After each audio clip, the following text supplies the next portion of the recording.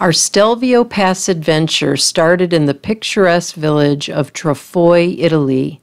We arrived there yesterday just before sunset, and it is only a stone throw away from the Stelvio Pass. Here is a 3D preview of our actual GPS tracks, after which we will roll the video footage of the trip. We approach the pass from the east. From that side and at higher elevation, the Stelvio Pass becomes quite steep. Eventually, we crossed the pinnacle at 9,000 feet and began our descent on the west side. There, the road is less steep, but the scenery is breathtaking. Here is the video footage from the motorcycle mounted action camera.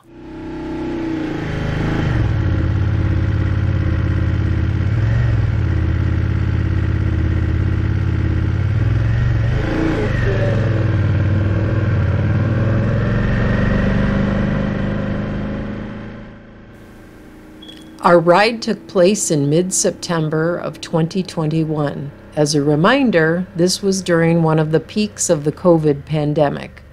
We arrived in Europe from the United States, which the European Union had declared a COVID high risk region just three weeks earlier. As a result, we found the entry restrictions of European countries harder to negotiate than even the tightest of hairpin curves shown in this video. In the end, we managed to overcome both challenges and we had a fantastic 10 day road trip through the Alps. Look for our other videos from this trip linked to in the description below.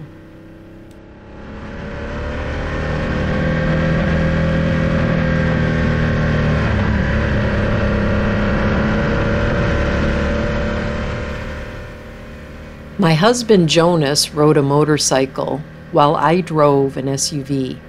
This unusual combination slowed us down quite a bit, since on the narrow, twisty mountain roads, a car can rarely pass slower moving vehicles, and oncoming vehicles often require careful negotiation.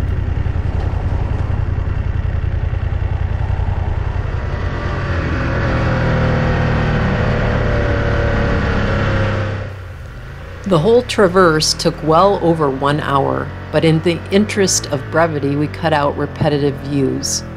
The cuts make it harder to follow our progress, but the continuously rising elevation reading near the top of the screen tells the story of our progress toward the peak.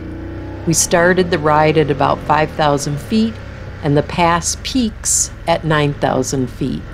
To convert feet into meters, divide feet by three.